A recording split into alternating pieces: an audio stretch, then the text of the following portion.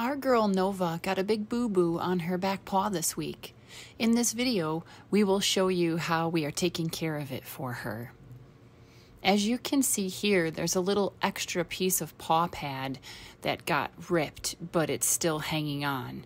So we had to take a minute and trim off the extra pieces so that they didn't snag and rip anymore, making it worse. Nova was such a good girl. She laid so still while Kevin trimmed off the extra pieces of her paw pad. We've been applying the best dog balm at least once a day to help heal up the paw pad. The potent blend of oils helps nourish the skin and promotes growth to help speed up the healing time. Once again, you can see how good she is just laying so still while we take care of it, even though it's tender for her. We put on a generous amount because she typically licks a lot of it off, so that way we know some of it gets in there for sure.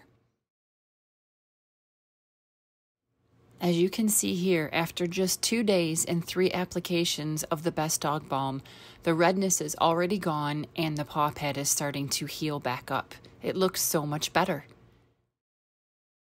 You can get a free sample of the Best Dog Balm to try on your dog.